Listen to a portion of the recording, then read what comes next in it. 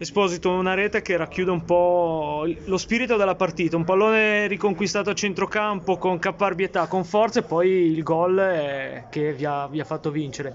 Oggi avevate preparato un po' così la partita? Sì, oggi per noi voleva doppio perché un risultato diverso avrebbe permesso all'Albanese di allungare ancora di più e quindi oggi per noi valeva doppio.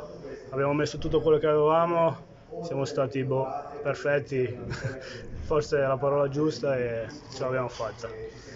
Diciamo che questa vittoria non serve solo a voi, ma serve un po' a tutto il campionato per rimanere ancora aperto.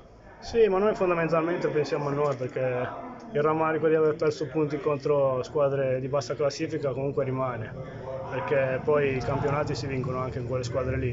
Con la Loinese hai fatto 6 punti, però sono ancora davanti a loro. Eh, questo farà strano, però è la realtà dei fatti. Vista la partita di oggi, è stata una partita decisamente maschia.